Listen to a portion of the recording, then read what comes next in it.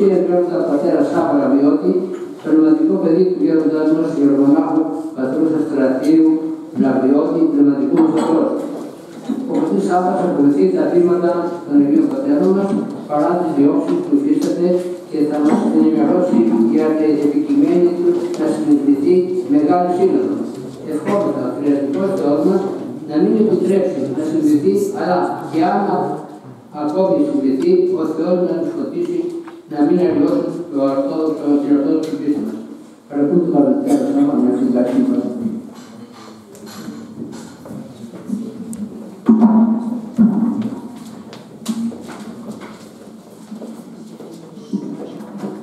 Ο ήχος δεν είναι καλός.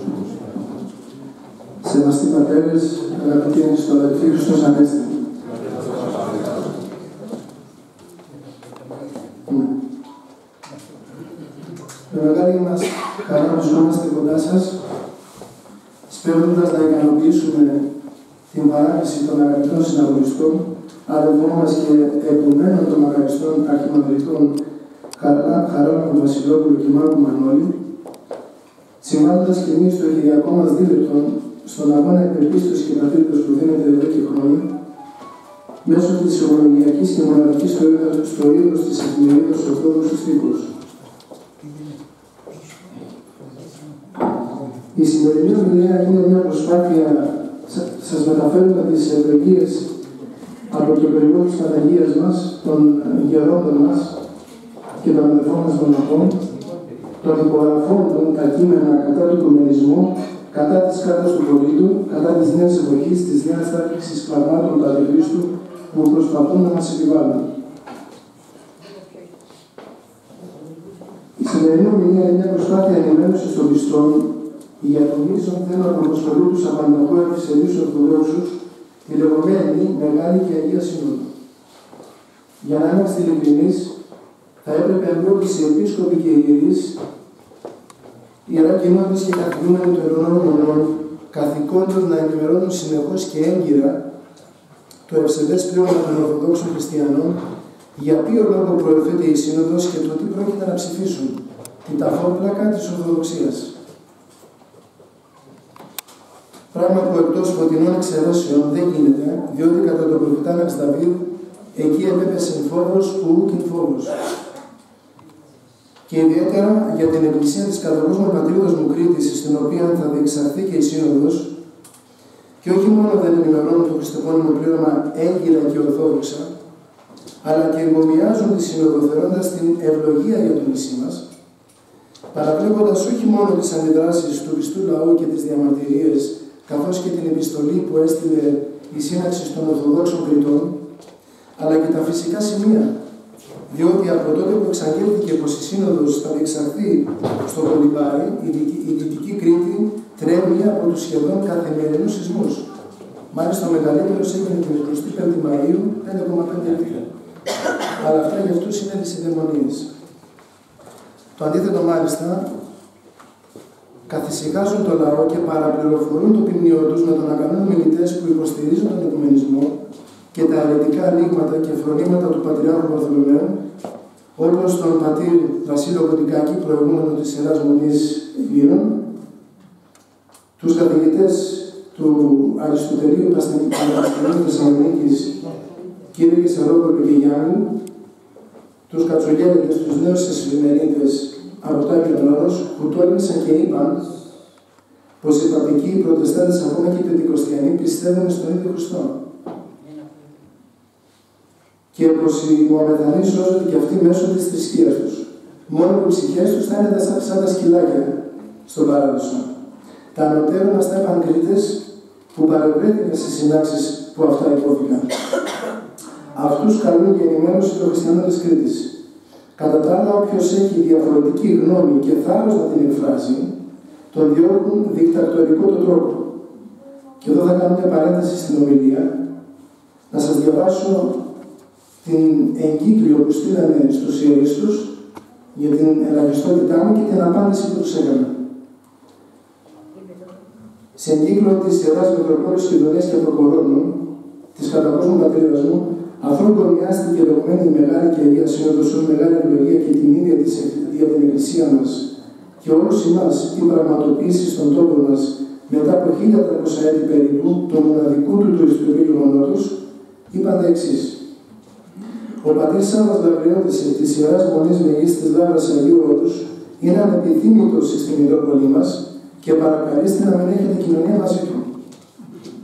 Άγεται και φέρεται στην επαρχία μας, υβρίζει τον Πατριάρχη, παρουσιάζεται εις τοπικών τηλεοπτικών μέσων ανεφαδίας, καθώς και σε εκδηλώσεις που ανήκεται προς την Αγία και Ιερά Μεγάλη Σύνοδο. Και σε γράμμα που έστειλαν στο Πατριαρχείο, στην Ιερά Κοινότητα του Αγίου Όρους και στη Μονή μου, με κατηγορούν πως διχάζω, τρομοκρατώ και παραπληροφορώ τον μισθό παιδικό λαό και πως κυκλοφορώ με συνοδεία πράγων και χρυσαυγίτες στα Χανιά και σε εκδηλώσεις και πηγαίνω σε εκδηλώσεις που αντίκειται στη Μεγάλη και Αγία Σύνοδο. Τους έγραψα λοιπόν μια απάντηση, αφού τους αναφέρω αυτά και τους λέω τα εξής. Πραγματικά ξεκάθαρισαν τον εαυτό τους και κάθε επιστημονική φαντασία. Δεν θα σκοπεύουν καν με τέτοιες κακοειδίε και συκοφαντικέ δυσφημίσει, διότι όλοι συγχωρίζουμε στην Κρήτη διότι όσοι όλοι γνωρίζουν τον πατέρα Σάββα στην Κρήτη καταλαβαίνουν ότι δεν παραπληροφορούμε και η προσεκδήλωση που, που έκαναν με καλεσμένο τον πατέρα Βασίλειο Βοτικάκη και άλλους ήταν ως αντίβαρο της παρουσίας μας και της έγκυρης πληροφορήσεως που παρήγανε στον κριτικό λαό. Όπως επίσης γνωρίζω, γνωρίζω πως ο αγαπητός και παραδοσιακός επίσκοπος Χαρίων κ. Δαμασκίνος, που πολύ τον εκτιμώ και τον αγαπώ, έχει πέσει θύμα παραπληροφόρησης ιδιαίτερω από τον προσυχιολόγο και διαφόρου καλοθελικάτες για το τι έχει συμβεί και γι' αυτό τον λόγο εξηγούμε. Όντως, το τοπικό τηλεοπτικό κανάλι Νέα Τηλεόραση, που μου απίφθινε πρόσκληση να παρουσιαστώ ζωντανά για να μιλήσουμε για την κάρτα του πολίτη, για την σύνοδο και άλλα θέματα. Ο καθένας μπορεί να δει τι υπόθηκε στην εκπομπή και να βγάλει το συμπέρασμά του, αφού είναι αναρτημένο στο διαδίκτυο. Σε καμία περίπτωση δεν μίλησα πρόσωπα και ιδιαίτερα του Πατριάρχη και δεν απολόγησα κανέναν, αλλά υπόθηκε η αλήθεια. Σε τηλεφωνική επικοινωνία με τον πρωτοσύγκρο πριν από την εκπομπή, μου είπε πως δεν έχω ευλογία να παρουσιαστώ στο κανάλι. Και το απάντησα πως δεν είναι στη δικαιοδοσία της Εκκλησίας και δεν μπορεί να μου το απογορεύσει όπως έχουν κάνει για τους εκκλησιαστικούς χώρους που μου απαγορεύουν να μιλάω και φυσικά που το τηρώ. Εξάλλου του είπα, τους κάθε λογή ερετικού τους αφήνουν ελευθέρους να βγουν στην εκκλησία, στην τηλεόραση, στο ραδιόφωνο και στις συγκεντρώσεις.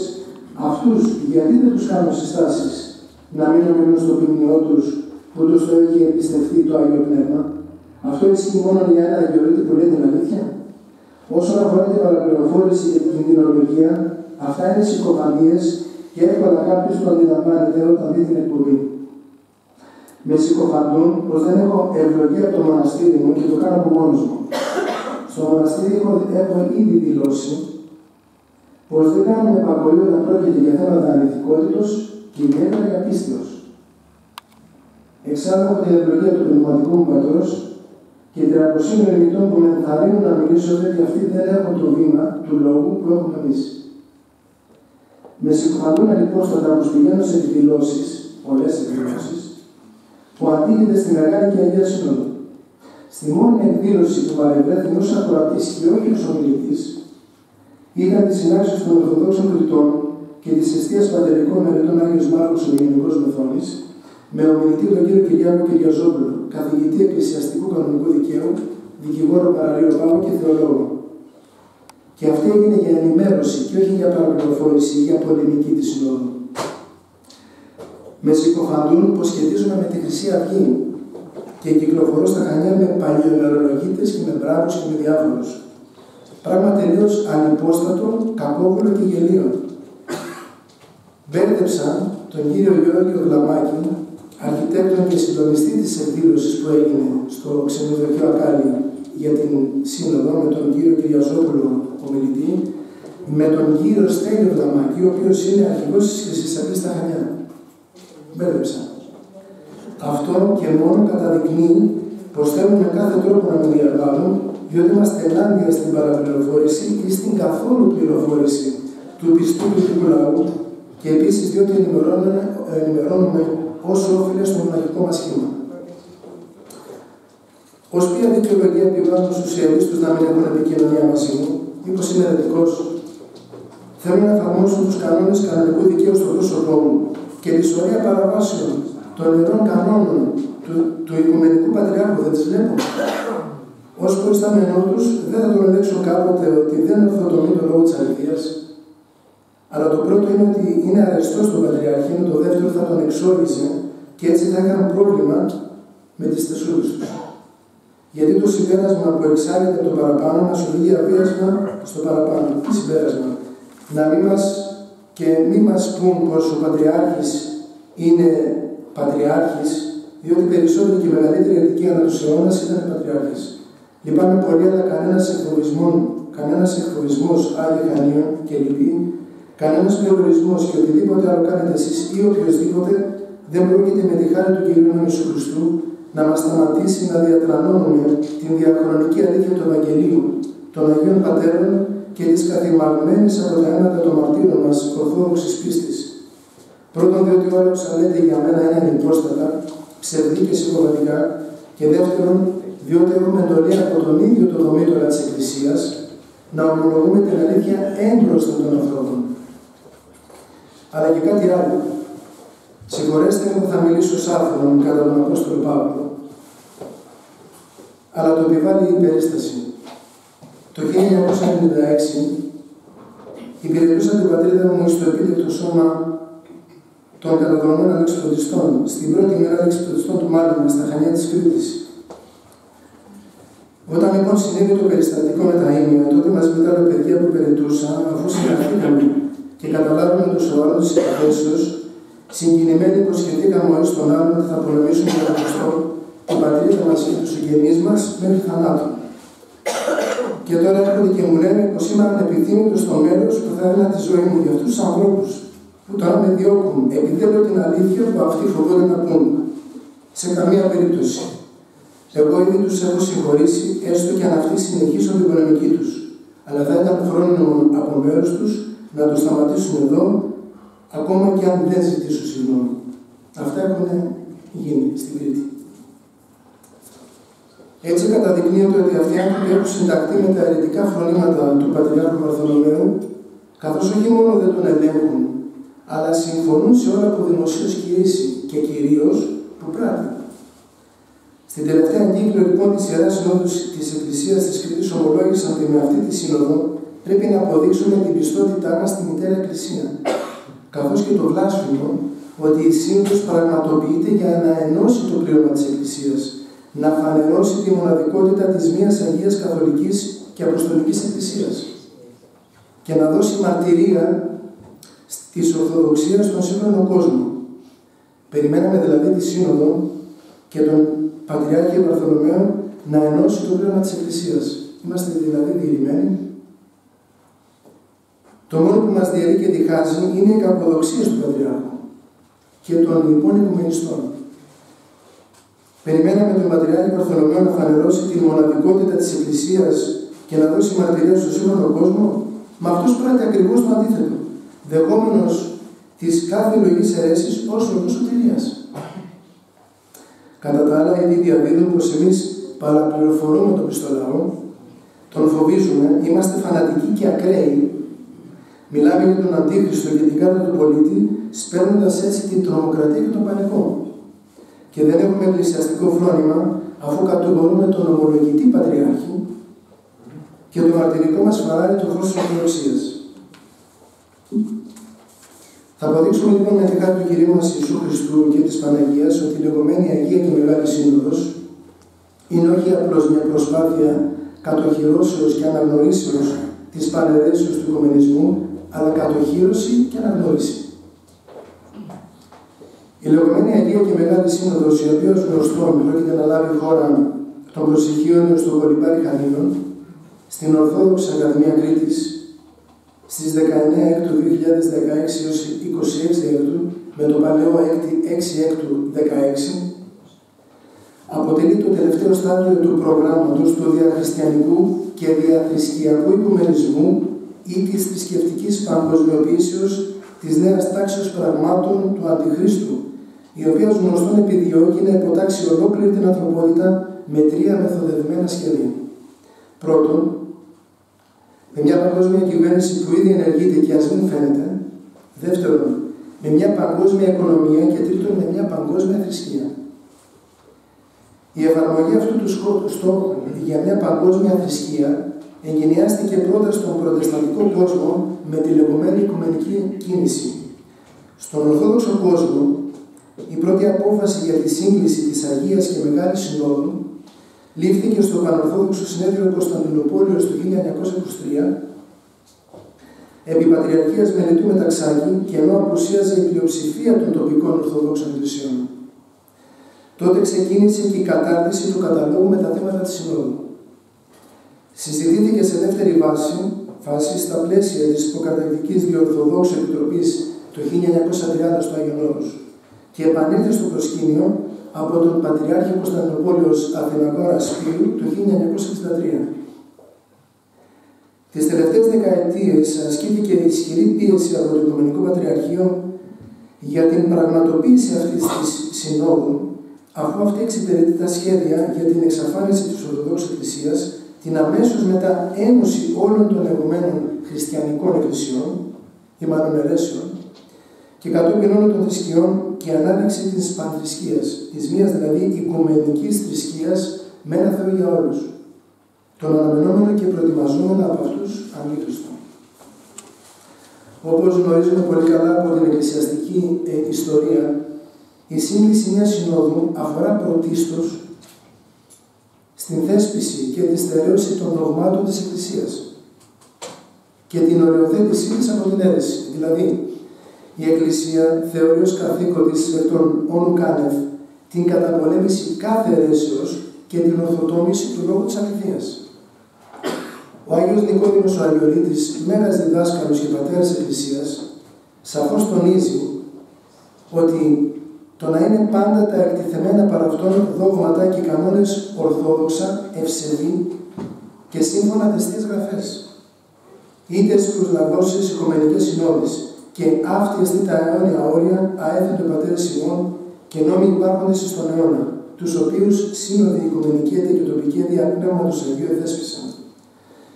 Αντί λοιπόν η μένουσα σύνοδος να καταδικάσει τις υφιστάμενες και καθημερινώς δρόσες αιρέσεις, οι οποίες πλανούν τους πιστούς, επιδιώκει πρωτίστως να αναγνωρίσει την πανέρεση κατά τον Άγιο Στενοπόποβιτς του συγκλητιστικού, διαχριστιανικού και διαθρησκιακού κομμουνισμού όπως έκαναν και οι παπικοί στην Δευτέρα Βατικάνια Σύνοδό τους το 1965. Αυτό αποδεικνύεται από τα κατωτέρα. Πρώτον, το προσωπικό κείμενο της συνάξεως των πρωταθλημένων, το οποίο παραπέμπεται προς υιοθέτηση από τις αυτοκέφαλες Ορθόδοξες Εκκλησίες στη λεγόμενη Αγία και Μεγάλη Σύνοδο, στο άρθρο 6 με τίτλο «Σχέσεις της Ορθοδόξης Εκκλησίας προς τον λοιπόν χριστιανικό κόσμο», αναγνωρίζει ότι οι παπικοί και οι προτεστάντες δεν είναι αιρετικοί, αλλά εντάσσονται στη μία Αγία Καθολική και Αποστολική Εκκλησία του συμβόλου της Νικαίας, της πίστεως Νικαίας Κωνσταντινούπολεως, υπερτονίζοντας την ιστορικότητά τους ως εκκλησίες και παραβλέποντας σκανδαλωδώς την αίρεσή τους, λέγοντας ότι η Ορθόδοξη Εκκλησία αναγνωρίζει την ιστορική ύπαρξη άλλων χριστιανικών εκκλησιών και ομολογιών μη ευρισκομένων εν κοινωνία με ταυτής, παραβλέποντας έτσι τη δογματική διδασκαλία της Εκκλησίας, έστω και αν η 8η Οικουμενική Σύνοδος επί Πατριάρχου Μεγάλου Φωτίου το 879 το 879-880 και με τις ψήφους των αντιπροσώπων του τότε Πάπα της Δύσεως είχε καταδικάσει το ελεκτικό φιλιόπνευμα.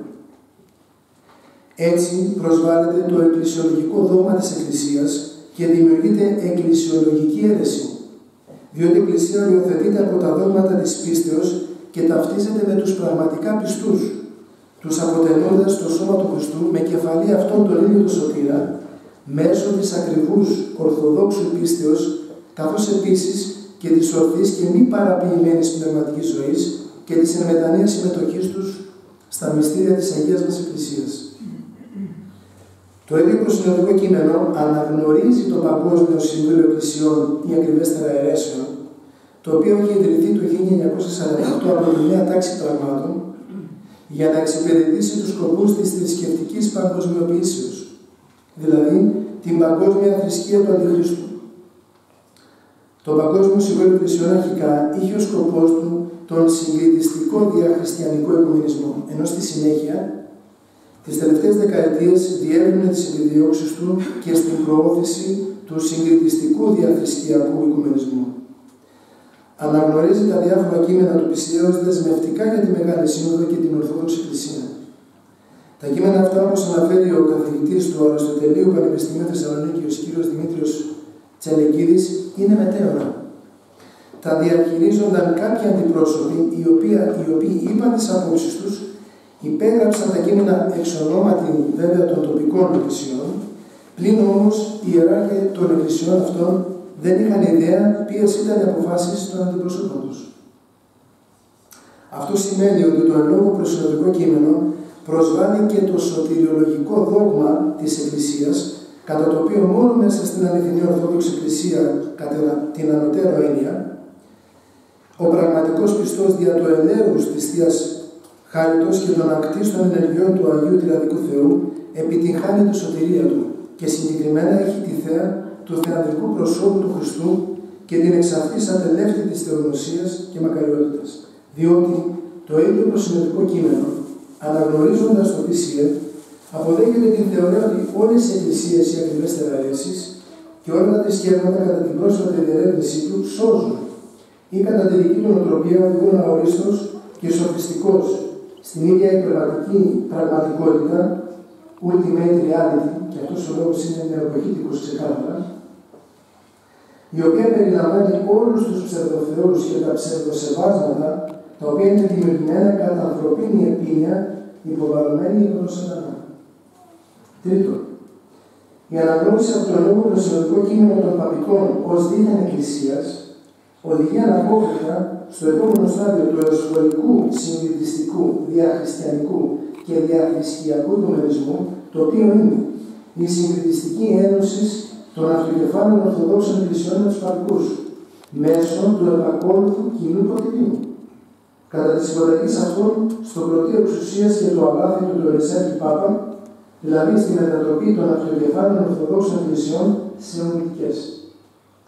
Αυτό σημαίνει τη πνευματική και διοικητική υποταγή των αυτοκεφάλων Ορθοδόξων Εκκλησιών ως ειδικών στον Πάπα με βάση τις επιδιώξεις του Βατικανού και τον κώδικα κανόνων των Ανατολικών Καθολικών Ουνητικών Εκκλησιών που εκδόθηκε από τον Πάπα Ένα Παύλο τον δεύτερο του 1990. Ω γνωστό, όχι στους περισσότερους φυσικά, ο κανόνας αυτός προβλέπει τα εξής τέσσερα είδη ουνητικών εκκλησιών ιδίου δικαίου, sui generis, στα οποία θα υποταχθούν οι Ορθόδοξες Εκκλησίες. Πρώτον, πατριαρχικές εκκλησίες ιδίου δικαίου. Εδώ θα υπαχθούν όσες Ορθόδοξες Εκκλησίες είναι πατριαρχία. Δεύτερον, αρχιεπισκοπικές εκκλησίες ιδίου δικαίου. Εδώ θα υπαχθούν όσες αυτοκέφαλες εκκλησίες δεν είναι πατριαρχία. Μητροπολιτικές εκκλησίες ιδίου δικαίου και τέταρτον, άλλε εκκλησίες ιδίου δικαίου. Αυτό είναι στους κανόνες 55 155 και 511 του ιδίου κώδικα.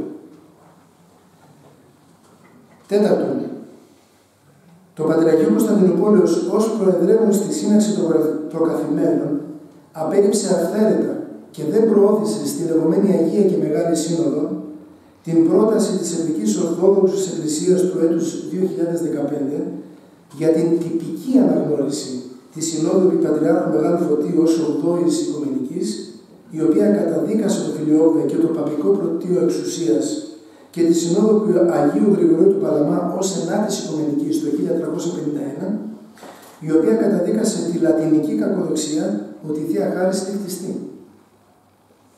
Η ησυχαστική θεολογία του Αγίου Γρηγορίου Παλαμά, του Αγιορείτου και Λαβριώτου έχει κεφαλαιόδη σημασία για την Ορθόδοξη θεολογία, δια τούτου και μισείται θανάσιμα των παπικών.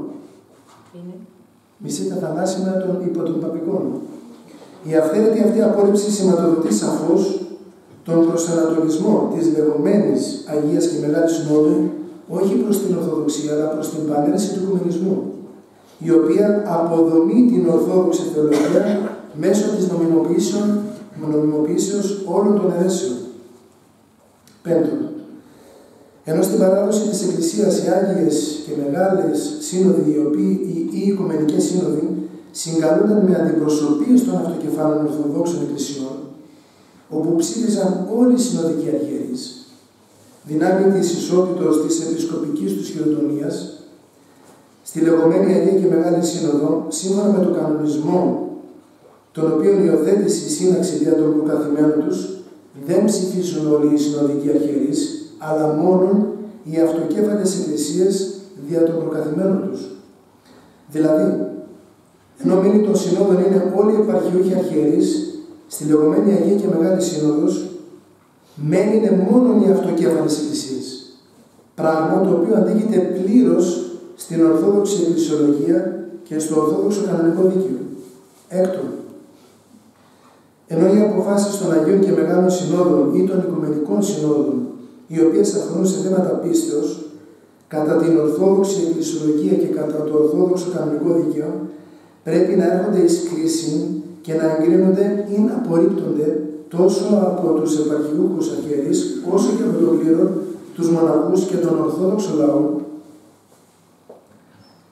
κανονισμός της λεγόμενης Αγίας και Μεγάλης Συνόδου, αντιθέτως προς την Ορθόδοξη Εκκλησιολογία, καθιστά υποχρεωτικές και επιβάλλει τις αποφάσεις της Ελόγου Συνόδου για όλα τα μέλη της Ορθοδόξου Εκκλησίας.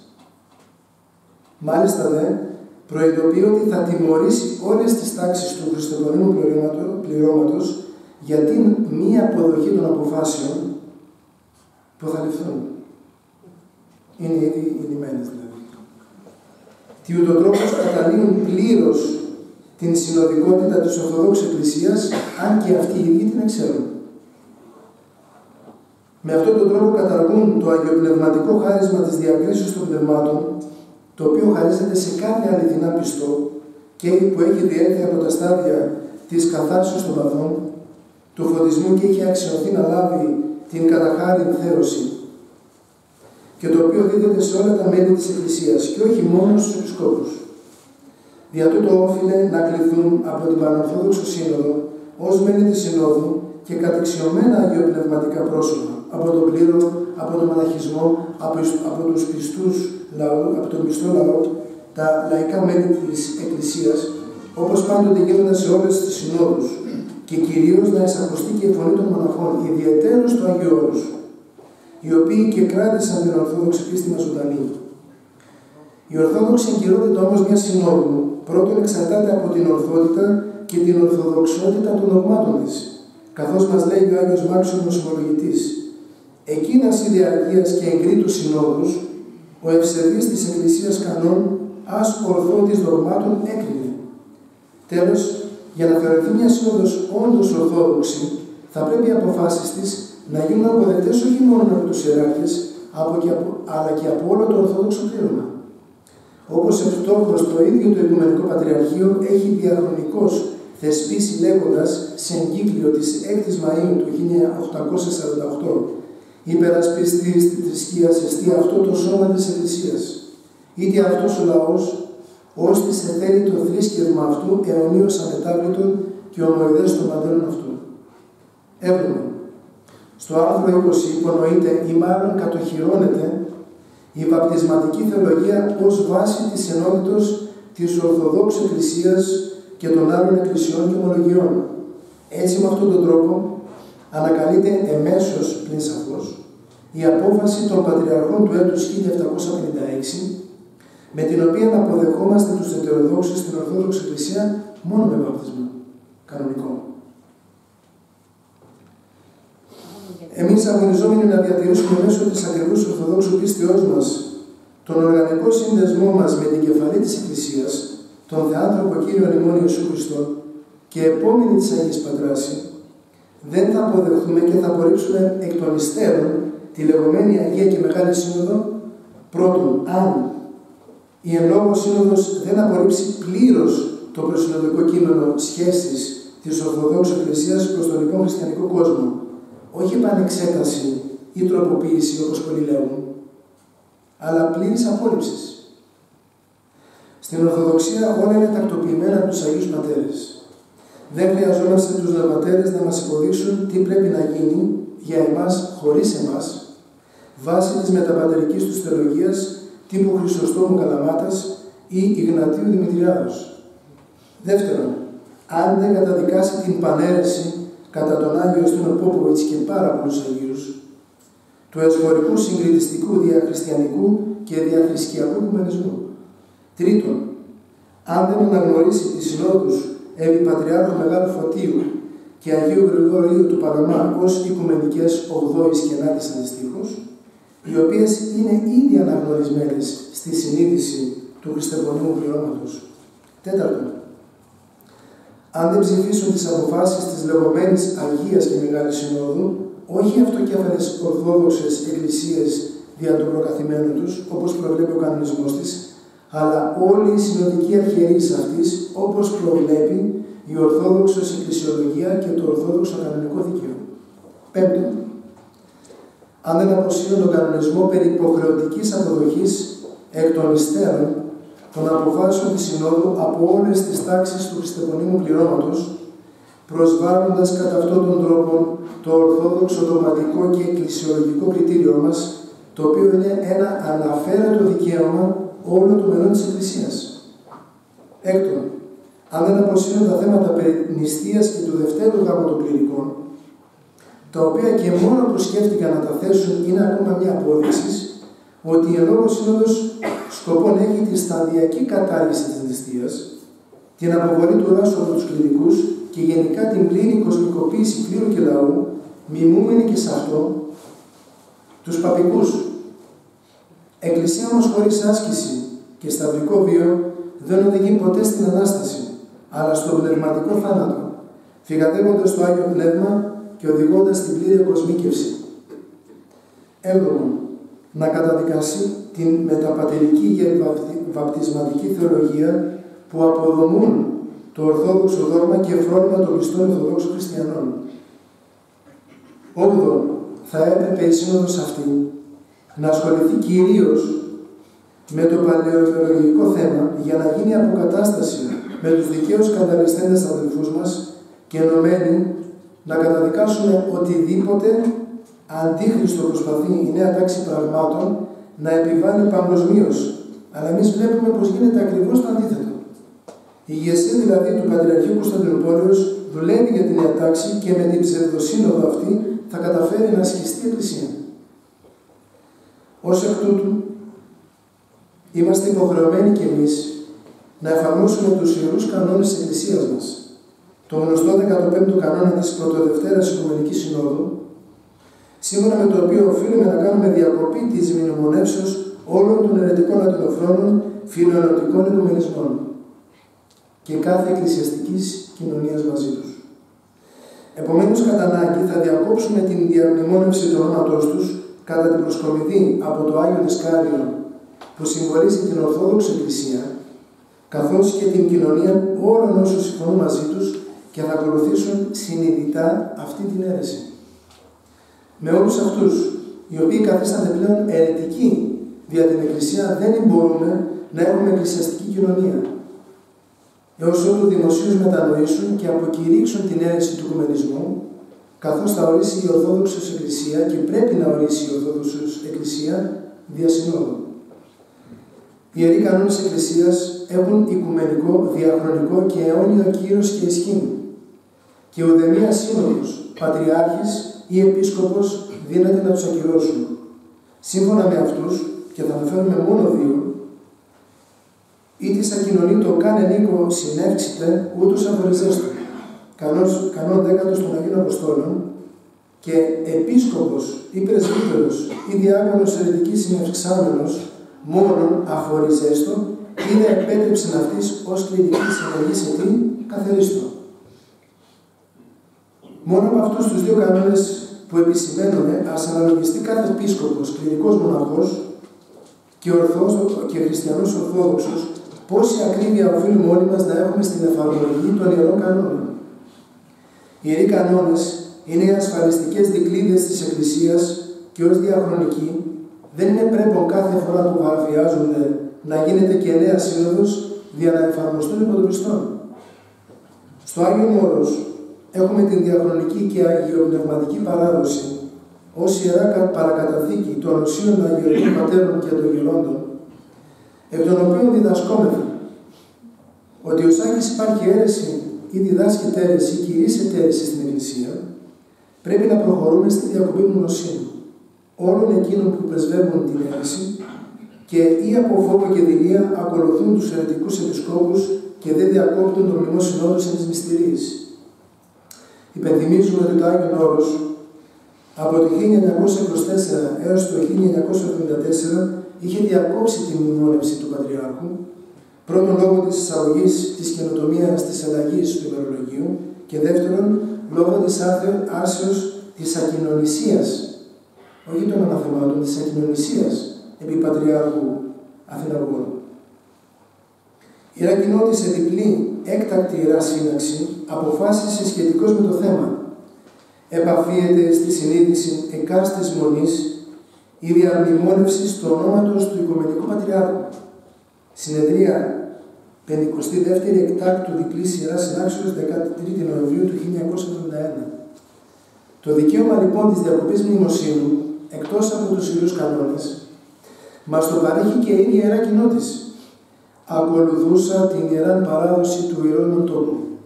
Είναι όμως ποτέ δυνατόν να υπάρχει ιερά μονή και μοναχός που να μην έχει ορθόδοξη συνείδηση και ευαισθησία; Είναι δυνατόν να υπάρξει μοναχός ή κληρικός που, που θα ακολουθήσει αυτή την ψευδοσύνοδο.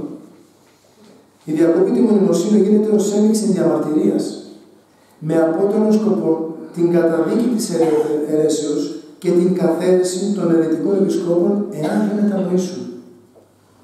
Εμείς, ως αγιορείτες πατέρες και ως μέλη της Εκκλησίας δηλώνουμε ότι δεν έχουμε καμία σχέση με ακρότητες φανατισμούς, αλλά επόμενη της Αγίας Πατράση και συστοιχούμενη στην διαχρονική αγιορετική παράδοση την σφραγιστήσαμε με το αίμα τόσων Αγίων Σωμαρτήρων, επιθυμούμε με τον ωφελόμενο σεβασμό να προετοιμάσουμε και να επιστήσουμε την προσοχή του χριστεπονίμου πληρώματος σχετικά με το θέμα αυτό.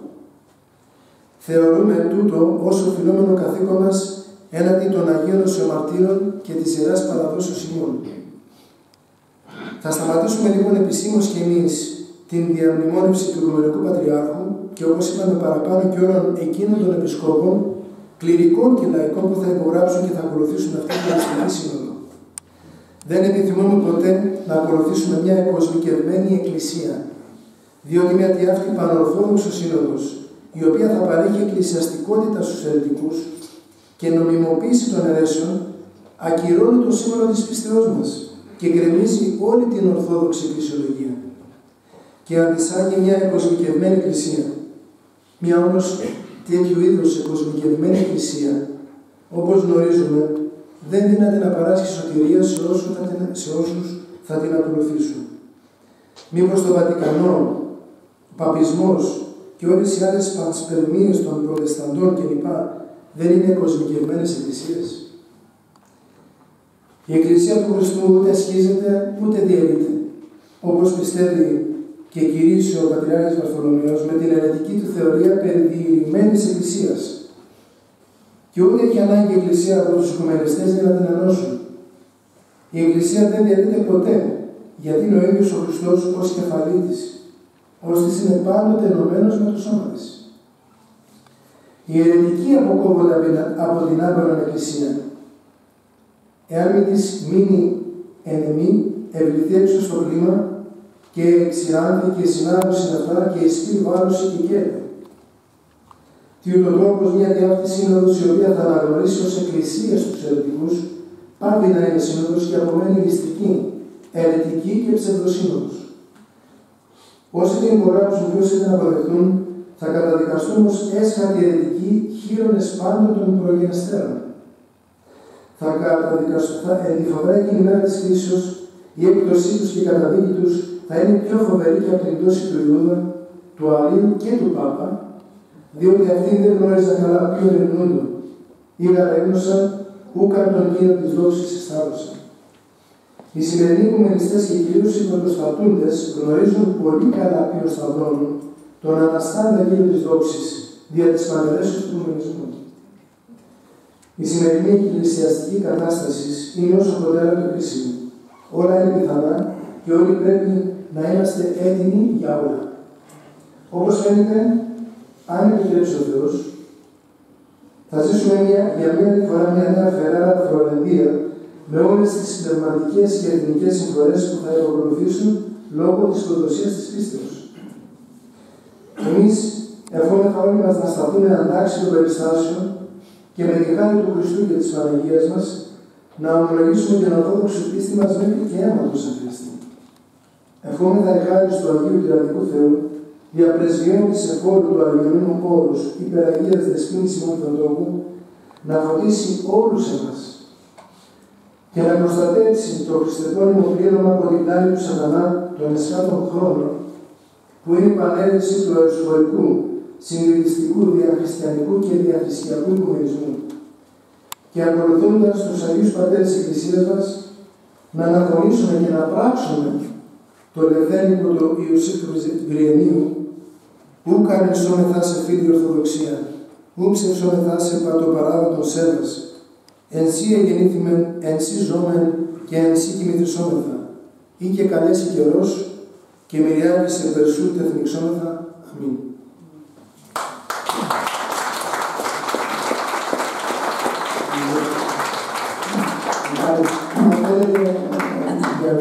Ευχαριστούμε τον Πατέρα Σάββα για την ανάλυση των θεμάτων που μένουν ότι να συνέχεια η μεγάλη συνόδου και τον παρακαλούμε όσοι έχουν απορίες και όσοι θέλουν να ρωτήσουν κάτι να τους απαντήσουν. Εκτός και να ρωτήσουν.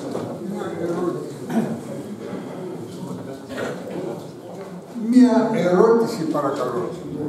Εάν ε, προσκληθούν απαξάπαντες οι Ορθόδοξοι Επίσκοποι, μπορούν, ε, μπορεί, ε, απαξάπαντες, οι Ορθόδοξοι Επίσκοποι, μπορεί να ονομαστεί αυτή η σύνοδος Οικουμενική Σύνοδος, να έρθουν όλοι κάθε Ορθόδοξος Επίσκοπος. Ε, η Οικουμενική Σύνοδος θα ονομαστεί και δεν θα ονομαστεί ρηστρική από τις αποφάσεις της Συνόδου. Ναι. Μια Σύνοδος δεν κρίνεται από την συμμετοχή όλων των επισκόπων, αν και είναι υποχρεωτική η συμμετοχή όλων των επισκόπων. Ναι. Διότι ο κάθε επίσκοπος εκπροσωπεί το ποιμνιό του. Λοιπόν, είναι υποχρεωτική. Δεν θα κρυθεί όμως από εκεί αν είναι οικουμενική ή αν είναι ορθόδοξη, αλλά από τις αποφάσεις που θα πάρουν. Παρ' όλα αυτά όμως, όταν ο κάθε επίσκοπος έχει μία ψήφο και ψηφίσει, τότε αν δεν ψηφίσουν όλοι και δεν υπάρχει ομοφωνία, δεν μπορούν να περάσουν τα θέματα. Ένα ερώτημα ε, που, που, το οποίο μπορεί να απασχολήσει μια, με μια τέτοια σύνοδο. Μέχρι ποιου σημείου μπορεί να φτάσει η επαφή μας προς τις άλλες αυτοκαλούμενες εκκλησίες. Αυτοκαλείται η εκκλησία η παπική, αυτοκαλείται η ευαγγελική, η λουθυρανή κτλ. Με αυτούς σου λένε, ελάτε σαν άνθρωποι να συνεννοηθούμε για ορισμένα ζητήματα. Μέχρι ποιου σημείου μπορούμε να κουβεντιάζουμε, να συνεννοηθούμε μαζί τους, μέχρι ποιο σημείο μπορούμε να έχουμε σχέσεις, επαφές και συνομιλίες μαζί τους. Κοιτάξτε να δείτε. Ο Απόστολος Παύλος μας λέει ξεκάθαρα με τα πρώτης, με τα πρώτης και δευτέρας νοθεσίας παρετούν. Άνθρωπον ερετικών. Άνθρωπον Με τα ερετικών. μία και δευτέρα Ναι, νοθεσία μας λέει, μας, παρετούν. μας μιλάει για νοθεσίες. Για Δεν μας μιλάει για νοθεσίες, διαλόγους. για- για- Μπορούμε να διαπαιτούμε και ο- Να κάνουμε, μπορούμε επομένως να κάνουμε νοθεσίες, μήπως και τυχόν. ο Άγιος Μάρκος ο Γενικός που παραποιούν την ιστορία, οι οικουμενιστές παραποιούν την ιστορία και χρησιμοποιούν και τον Άγιο Μάρκο τον Ευγενικό, διότι όταν είχε πρωτοπάει στη Σύνοδο, που γινόταν για την Ένωση τότε, προσφώνησε τον Πάπα Αγιότατο κτλ. Το οποίο είναι, ε, έτσι επιβάλλεται από τους κανόνες όταν πηγαίνει, πηγαίνουν, όταν υπάρχει συνάντηση για να γίνει συνδιαλλαγή. Όταν όμως ο Άγιος Μάρκος ο Ρυθμικός κατάλαβε την παγίδα που τους είχαν στήσει οι παπικοί, Ναι, ναι. τότε έφυγε, δεν ψήφισε και μάλιστα είπε το, αυτό που έχει μείνει και στην ιστορία ότι φεύγετε τους παπικούς ως, από- ως απόφυση. Λοιπόν, Το περίφημο εμείς λοιπόν α- αυτό που γνωρίζουμε από τη στην Ορθόδοξη παράδοση, αυτό που γνωρίζουμε είναι το εξής. Δεχόμαστε τον καθένα στην Εκκλησία μας, Ναι. αφού μετανοήσει, εμείς δεν μπορούμε να αλλάξουμε κάτι από την πίστη μας. Δεν μπορούμε να διαλεχθούμε και να αρχίσουμε κάπου να πάμε στη μέση. Να κάνουμε μια έκπτωση στην πίστη μας εμείς, να κάνουμε κάποιες εκτόσεις αυτοί και να τα βρούμε στη μέση. Δεν γίνεται αυτό. Θα τους νοθετήσουμε, θα μιλήσουμε μαζί τους, θα κάνουμε διάλογο, όχι όμως για, με, αυτό, με αυτό έτσι όπως γίνεται σήμερα. Διότι 100 χρόνια διαλόγου δεν έχουν οδηγήσει πουθενά. Έχει οδηγήσει μόνο στην έκπτωση της πίστεώς μας. Εμείς θα εκθέσουμε τα της πίστεώς μας και θα τους πούμε ότι δεν αλλάζουμε τίποτε και ότι πρέπει αυτοί να επιστρέψουν από εκεί που έφυγαν. Το Ευαγγέλιο είναι διαχρονικό, δεν αλλάζει. Και οι κανόνες. Τον παρακαλούσαν, του λέγανε ας κάνουμε μια, κάντε καμιά συγκατάβαση για να σώσουμε την Κωνσταντινούπολη. Και απήντησε, «Ου, χωρί συγκατάβαση ίστα της πίστεως. Δεν μπορούμε να, όταν, όταν πιστεύω κάτι δεν μπορώ, συγκαταβαίνω και λέω πως δεν το πιστεύω. Αφού το πιστεύω, πως δεν το πιστεύω; Ακριβώς. Μάλιστα. Το, και τελικώς γεννάται το ερώτημα. Μήπως δεν υπάρχει αποχρόν λόγος συγκρότησεως συνόδου; Υπάρχει αποχρόν, υπάρχει κάποιος αποχρόν λόγος συγκροτήσεως συνόδου, αν μπορούσε να γίνει σύνοδος; Η σύνοδος, όπως η σύνοδοι, όπως είπαμε και προηγουμένως, η σύγκληση μιας συνόδου γινόταν κυρίως για να καταδειχθεί μια αίρεση και να καταδικαστεί. Για να, προστατε... να προστατέψουν οι επίσκοποι το πλήρωμά τους, το ποιμνιό τους, από τους αιρετικούς και από τις αιρετικές διδασκαλίες. Σήμερα όμως βλέπουμε το αντίθετο, ακριβώς το αντίθετο. Σύνοδος γίνεται σήμερα για να νομιμοποιηθούν οι αιρέσεις, για να, τους- για να αναγνωριστούν οι αιρέσεις ως εκκλησίες, Δεν μπορεί να γίνει. έτσι ώστε να προχωρήσουμε παραπέρα για να γίνει μια πανθρησκεία. Αυτό, γι' αυτό το λόγο γίνεται. Για να γίνει μια πανθρησκεία εν αγάπη, γιατί εμείς δεν έχουμε αγάπη, εμείς είμαστε φανατικοί. Ούτε οι Άγιοι Πατέρες είχαν αγάπη που καταδίκαζαν τους, τους αιρετικούς. Και σήμερα έχουμε, ερχόμαστε, έρχονται αυτοί οι οικουμενιστές και μας λένε ότι εν αγάπη θα ενωθούμε. Έτσι. Και θα κάνουμε, και αυτό στο τέλος θα οδηγήσει στην πανθρησκεία που θέλουν να φέρουν τον Αντίχριστο. Αυτό είναι το τελικό σχέδιο. Για παρθυσία δεν συζητάω. Μια τελευταία ερώτηση με πληροφοριακής φύσεως, μήπως ξέρετε να μου πείτε. Έχει γι- με τα σύγχρονα α, μέσα, τα ηλεκτρονικά ιδίως, θα μπορούσε να ξέρουμε πώς είναι οι ανά τον κόσμο ορθόδοξοι επίσκοποι. Θα μπορούσαμε να το ξέρουμε αυτό. Είναι 5.000, είναι περισσότεροι, ε, έχει γίνει καμία, μάλλον δεν έχει γίνει καμία τέτοια έρευνα. Θα, θα φανεί τώρα. Θα φανεί τώρα. Ευχαριστώ. Εγώ δεν καταλαβαίνω. Α, συγγνώμη, ναι, δεν πειράζει. Ε, πόσοι θα είναι από κάθε αίρεση. Δηλαδή θα είναι οι Ορθόδοξοι, θα είναι οι Ορθόδοξοι, θα είναι οι Καθολικοί, θα είναι οι Πρωτευτικοί. Τι θα είναι. Όχι. Τι θα Θα είναι. υπάρχουν παρατηρητές. Πράγμα που και αυτό δεν επιτρέπεται. Δεν έχει γίνει ποτέ. Δεν θα, δεν θα, συ- δεν θα συμμετάσχουν, δεν θα συμμετάσχουν αιρετικοί στην ε, Σύνοδο, θα συμμετάσχουν, θα συμμετάσχουν οι Ορθόδοξες Αυτοκέφαλες Εκκλησίες και τα Πατριαρχία. Είναι Ορθόδοξης Σύνοδος.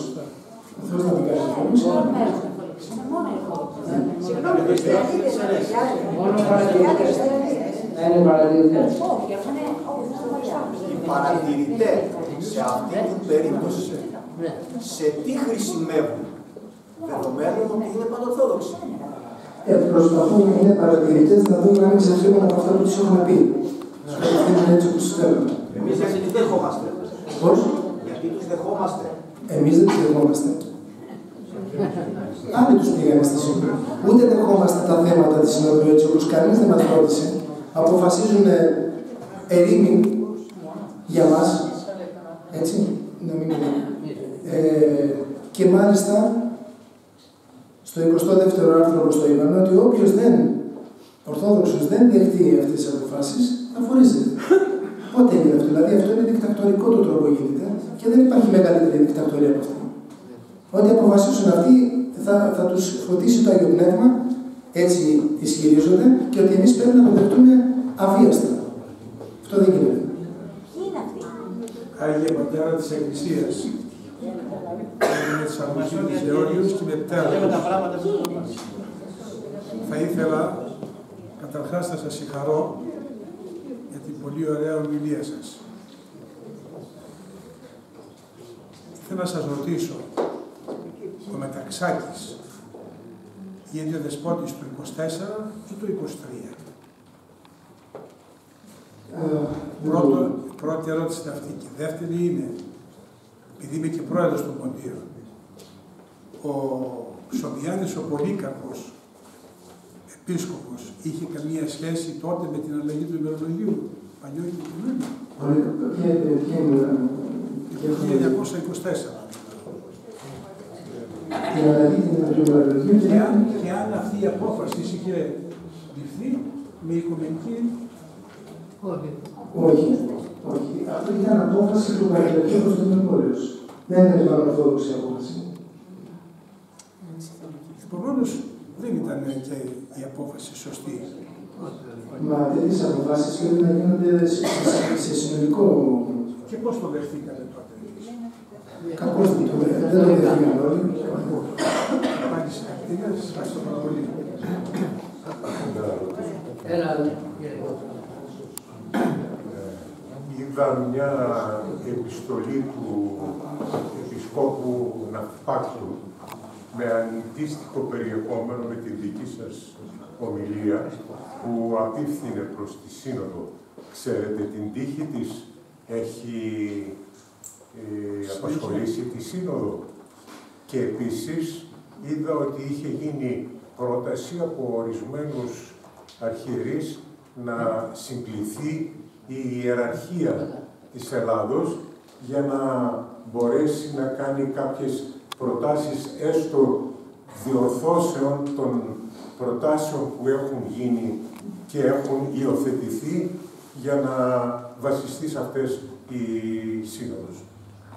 Ναι. Ε, αυτό που, που έγραψε ο Ναυπάτων είναι πάρα πολύ καλό, ε, θεολογικά πάρα πολύ σωστό και νομίζω ότι επηρέασε την Σύνοδο. Γι' αυτό και ε, την Τετάρτη ε, νομίζω έκανε μια ανακοίνωση ότι η παπική δεν είναι εκκλησία. Που αυτό είναι, που αυτό είναι κάτι το οποίο είναι αυτονόητο φυσικά. Δεν χρειάζεται να κάνουμε, δεν θα το βγάλουμε τώρα το συμπέρασμα. Ε, πιστεύω ότι επηρέασε. Το θέμα είναι να, ότι δεν μπορούμε, δεν μπορούμε να κάνουμε διορθωτικές κινήσεις, δηλαδή να διορθώσουμε λίγο τα κείμενα και αυτά. Πρέπει να τα απορρίψουμε τελείως. Διότι έτσι όπως έχουν, ας πούμε, το έκτο κείμενο, το έκτο άρθρο, γίνεται αναγνώριση των, των ερετικών. Πρέπει να απορριφθεί τελείως το, το άρθρο. Δεν μπορούμε να το τροποποιήσουμε. Τι να τροποποιήσουμε; Δεν μπαίνει τροποποίηση. Απορρίπτεται. Είναι απορριπταίο.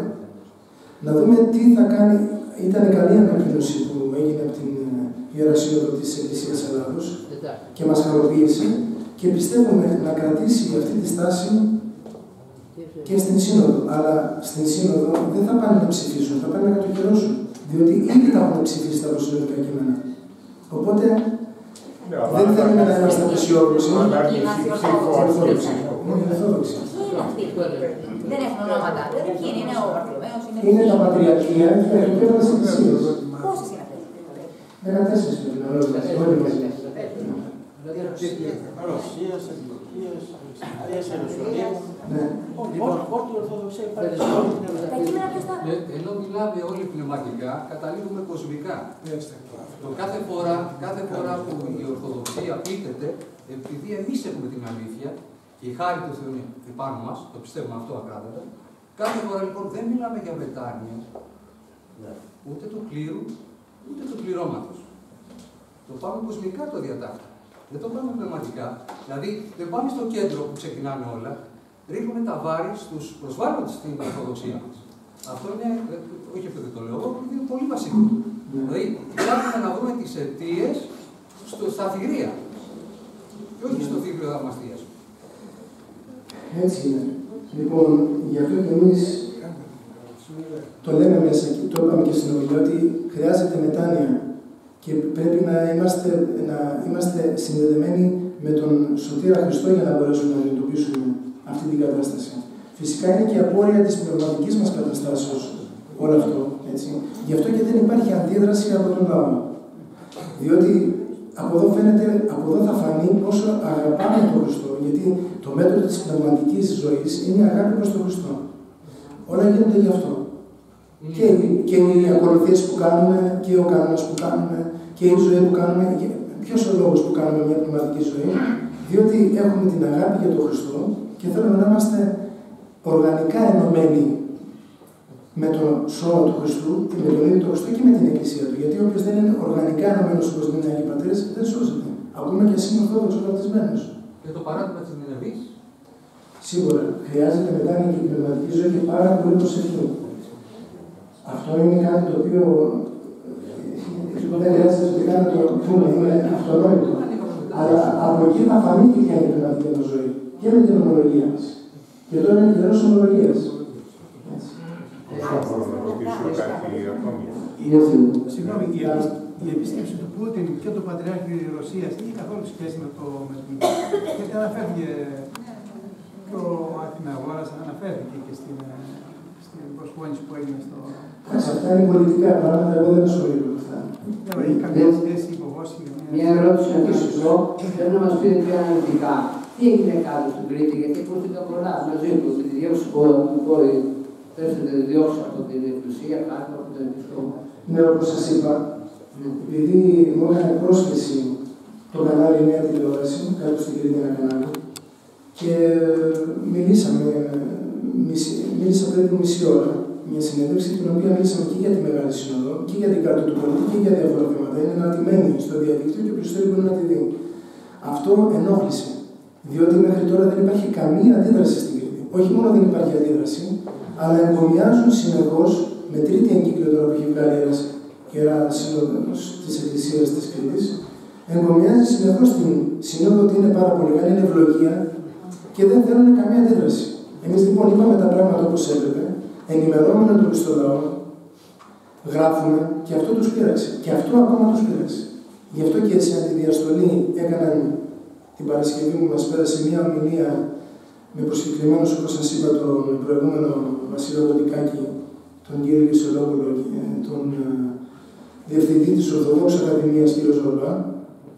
Και αν θα ακούγατε την, ε, τις ερωτήσεις, καμία ερώτηση δεν απαντήθηκε.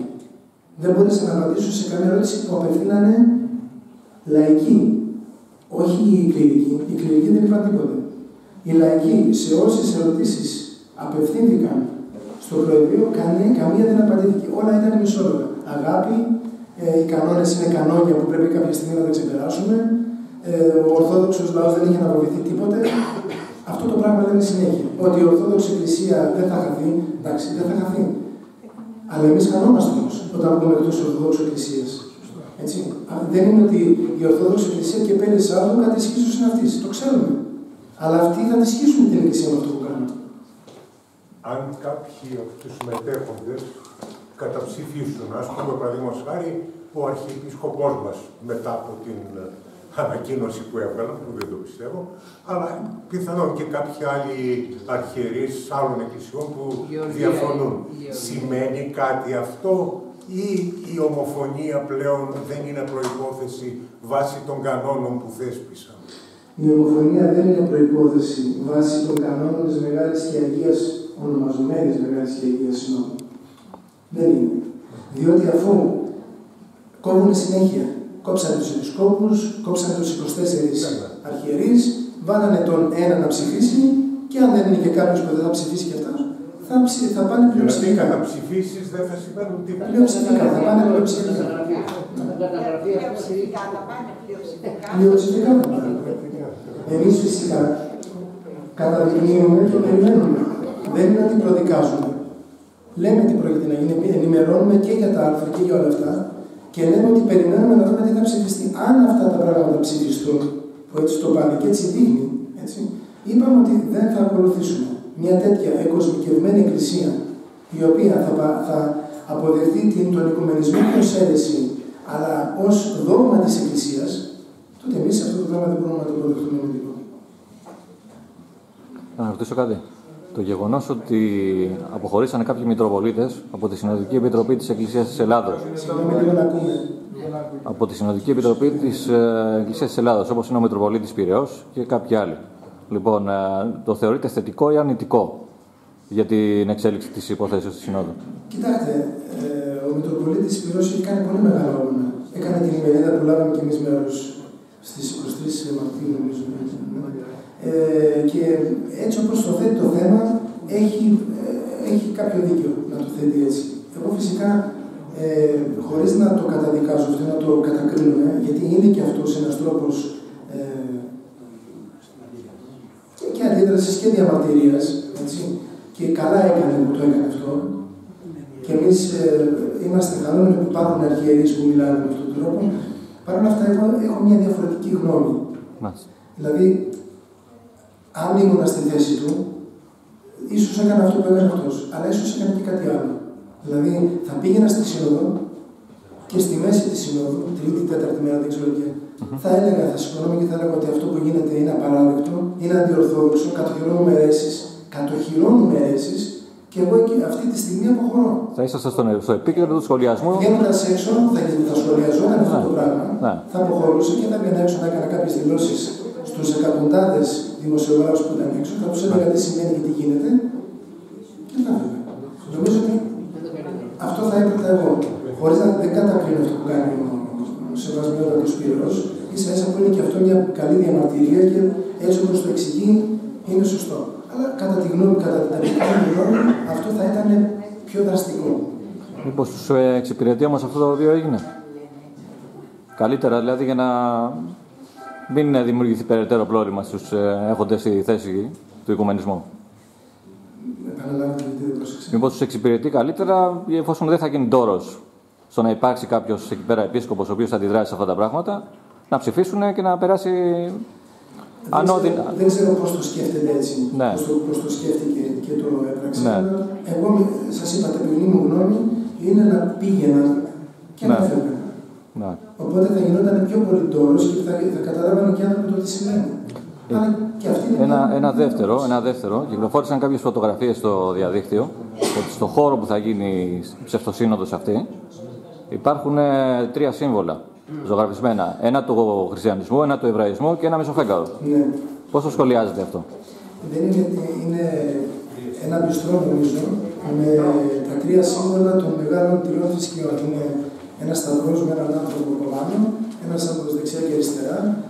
Ε, δεξιά νομίζω είναι το εβραϊκό άστρο Ναι, ναι. και αριστερά είναι η Μισέλιος. Μισέλινος.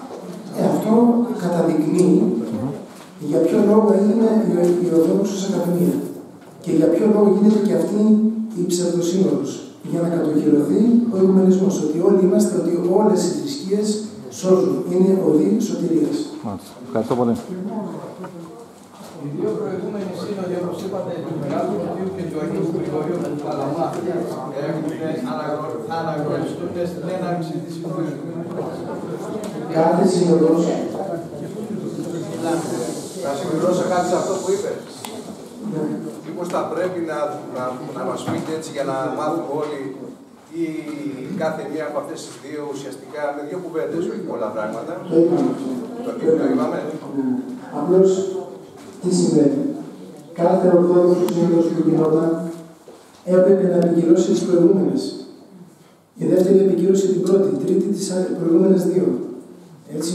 Σήμερα δεν υπάρχει αυτό το πράγμα. Αν θέλουν να την ονομάσουν Ορθόδοξη, πρέπει να επικυρώσουν όλες τις προηγούμενες σύνοδοι για να μας αποδείξουν όχι μόνο στους ιερείς τους, αλλά και στο χριστεπώνυμο πλήρωμα, ότι είναι επόμενοι των Αγίων Πατέρων.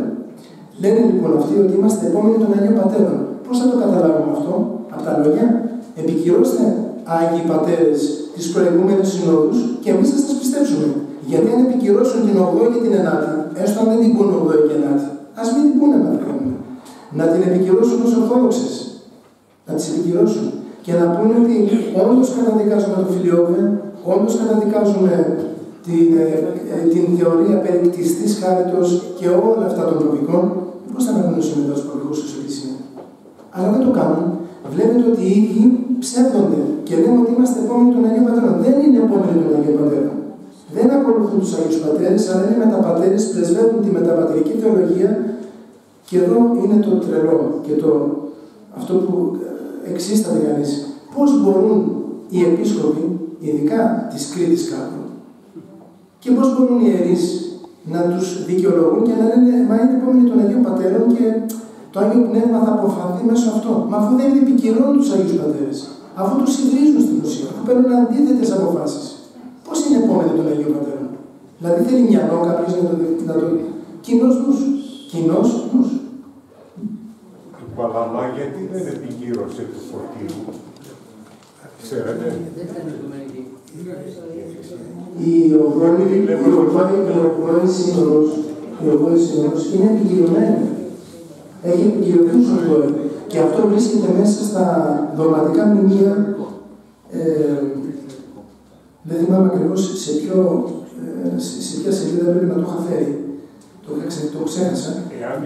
Είναι επικυρωμένη ο Οικουμενική και σε, σε επόμενο άρθρο που θα στείλω στον Ορθόδοξο τύπο θα λέω σε ποιο σημείο και πού υπάρχει και πότε έγινε. Είναι επικυρωμένη ο Δεν χρειαζόταν ο Άγιος Λόγος του να την επικυρώσει. Άρα δεν θα πρέπει να μιλάμε για δύο συνόδους, άμα είναι επικυρωμένοι μόνο για Δεν το γνωρίζουμε αυτό, δεν το γνωρίζουμε οι περισσότεροι. Και πρέπει να το καταδείξουμε. Έτσι, πρέπει να το καταδείξουμε. Αλλά έπρεπε έστω και με αυτόν τον τρόπο να επικυρωθούν. Γιατί δεν τις επικυρώνουν; Και γιατί δεν τις επικυρώνουν και τις υπόλοιπες οικονομικέ συνόδοι. Γιατί δεν θα μπορείς να περάσεις το θέλεις. Όπως είπαμε προηγουμένως. Πώς θα μπορέσουν να νομιμοποιήσουν τις αιρέσεις ω εκκλησίες όταν αυτοί όταν αυτές καταδικάζονται από τις προηγούμενες οικομενικές, τις οποίες μόλις ήδη επικύρωσαν. Δεν μπορούν να φάσουν και να αντιφάσουν. Πόσο καιρό προετοιμάζει αυτή η σύνοδος, προετοιμάζεται καιρό τώρα. Από το 1901. Τα κείμενα αυτά που θα κατακυρωθούν τώρα, αν γίνει, ποιος τα έχει γράψει; Ε, πρέπει να έρθει σε συνεννόηση με κάποιους. Δηλαδή πρέπει να έρθει ο δικός μας με ένα καθολικό για να δει τι. Δεν υπάρχουν καθολικοί, δεν υπάρχουν και αυτά είναι, ε, είναι η υπόθεση Ορθοδόξων. Ωραία, αυτά όμως που θα συζητηθούν έχουν, ε, θέλουν να ευνοήσουν, να ευνοήσουν κάποιες αιρέσεις, δεν είναι; Όχι να ευνοήσουν. Να τις συντάξουν. Θέλουν να τι αναγνωρίσουν, όχι να ευνοήσουν. Να τι αναγνωρίσουν. Εφόσον δεν τι αναγνωρίσουν, Άρα πρέπει να το έχουν συζητήσει. Δηλαδή δεν μπορεί έτσι ένα να ξύπνησε και να είπε Έχουν συζητηθεί όλα αυτά τα κείμενα, έχουν συζητηθεί σε προσωπικές. Έχουν συζητηθεί όλα αυτά τα κείμενα, έχουν. Έχουν συζητηθεί όλα σε προσωπικές συνάξεις που έχουν κάνει. Και έχουν ήδη και όλα αυτά έχουν εγκριθεί να ψηφιστούν τώρα. Έχουν ήδη ψηφιστεί. Απλώς θα επικυρωθούν ξύπνησε κάποιο ένα πρωί και είπε ότι Αφού είπαμε, θα πάρουμε το διαβάζετε τώρα, στο Σαββαζία το έκανε. Και σε διάφορα μέρη έκαναν αυτό το πράγμα, σε προσωπικές. Αυτό είπαμε. Ότι θα προετοιμάσουν χρόνια τη θεματολογία της Συνόδου. Η θεματολογία της Συνόδου προετοιμάζεται εδώ και χρόνια, εδώ και δεκαετίες. Ποια θέματα θα μπουν, τι θα περιέχουν και πώς θα ψηφιστούν. Λοιπόν, λίγο εισηγή ακόμα.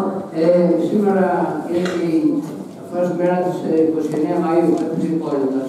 Οπότε πρέπει να κάνουμε περισσότερη προσοχή, νομίζω, γιατί αυτή η μέρα σήμερα πρέπει να τη θυμόμαστε πάντοτε. Το 29 Μαΐου έχουμε η πόλη μας. Έτσι που περάσουν αυτά τα κύματα που είχαμε, θα αφοριστούν τότε οι ιερείς.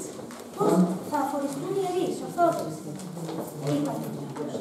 Θα καθαριστούν. Θα καθαριστούν, ναι, θα καθαριστούν. Αυτοί που δεν θα ακολουθήσουν τη σύνοδο θα καθαριστούν. Και, και ο πιστός λόγος πού θα πηγαίνει να εκκλησιάσει. Στον ιερευτή, ποιο θα ακολουθεί; Αυτό είναι το θέμα τώρα. Γι' αυτό και γίνεται όλη αυτή η ενημέρωση, γι' αυτό και κάνουμε όλα αυτά τα αγώνα.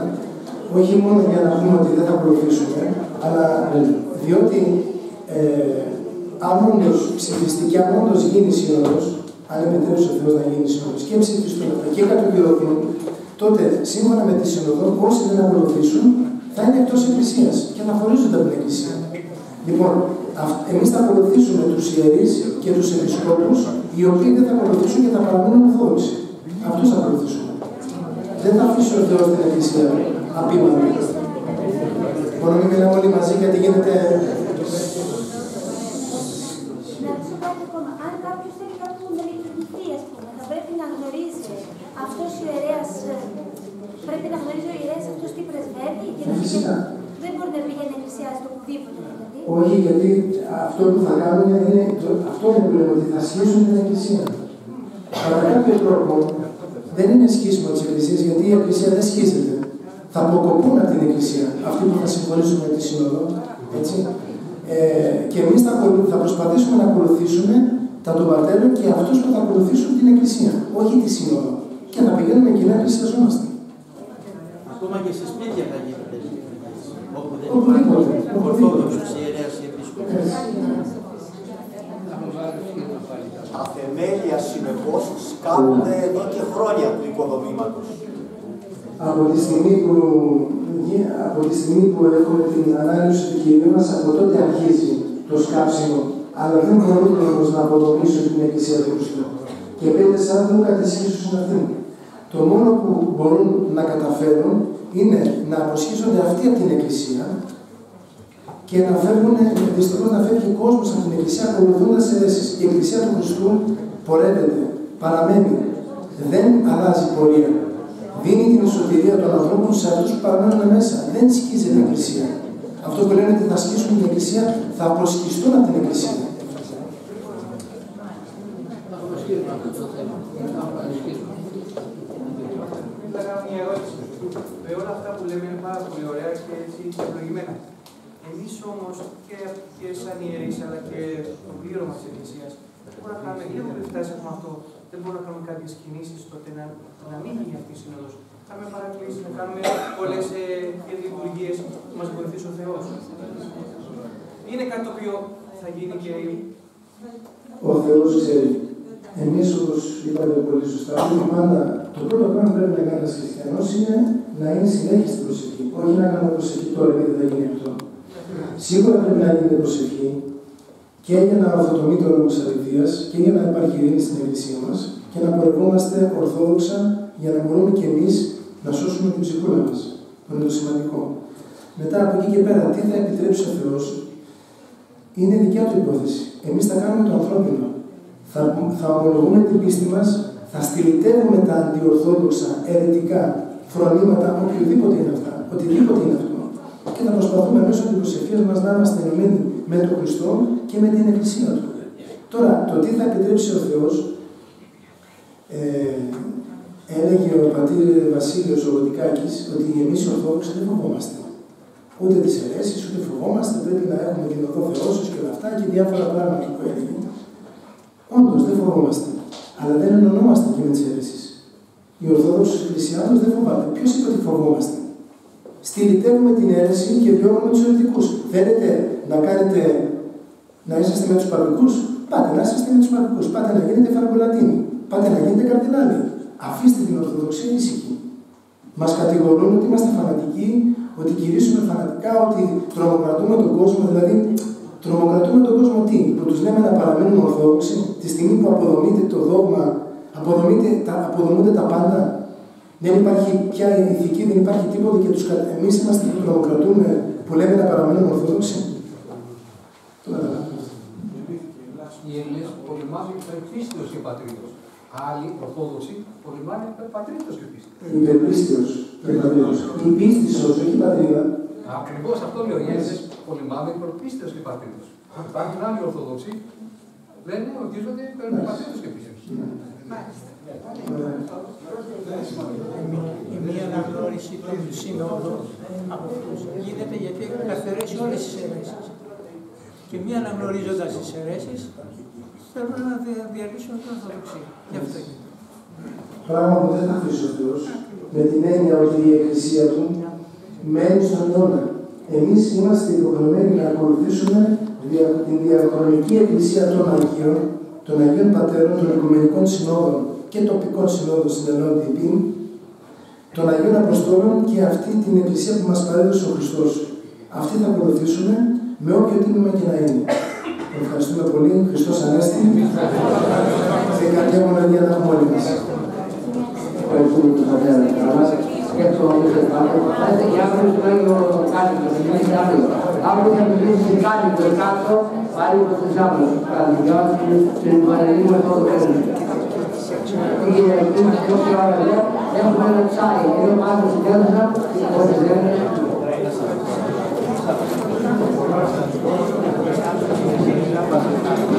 Άγγελο, είμαστε ο Αγγελίος Υπάλληλος, Θεός Άγγελος, στον Άγγελο, στον Άγγελο του Βαγγελίου, ανθρώπου Ένους. Εδώ την άλλη Κυριακή, αφού την ώρα θα έχουμε μεταξάει ο Πάγος στην αίθουσα, ήρθε προς προηγουμένη ώρα. Ευχαριστούμε πάρα πολύ.